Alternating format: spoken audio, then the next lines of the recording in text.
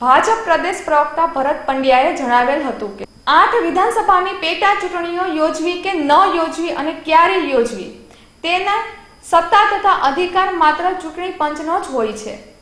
એક તરફ વિધાનસભા રાજીનામું આપ્યા બાદ છ મહિનામાં ચૂંટણી યોજવી પડે તેવા નિયમ છે, ત્યારે બીજી તરફ આ કોરોનાની સ્થિતિને પણ ટાળી ન શકાય.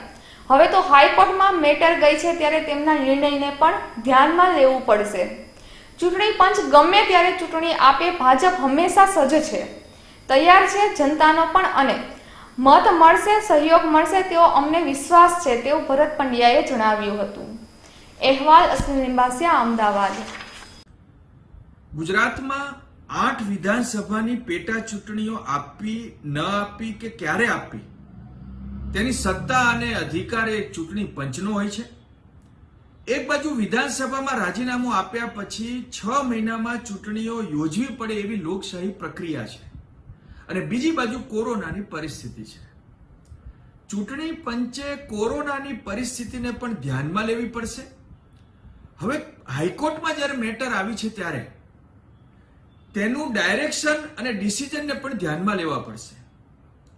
ચૂંટણી પંચ ગમે ત્યારે ચૂંટણી આપે, ભાજપ હંમેશા સજ્જ છે, તૈયાર છે. કારણ કે ભાજપનો કાર્યકર્તા એ સેવાહી સંગઠનના મંત્ર સાથે સતત લોકોની વચ્ચે લોકસેવાના કામો કરતો આવ્યો છે.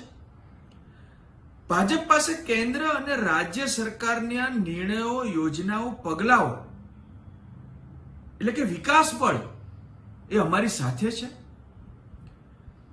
કાર્યકર્તા બળ, વિકાસ બળ અને સેવા બળથી ભાજપ એ જનતાની વચ્ચે જશે અમને વિશ્વાસ છે કે જનતાનો વિશ્વાસ અને સમર્થન અમને પ્રાપ્ત થશે અને તમામ પેટા ચૂંટણીઓ ભાજપ જીતશે.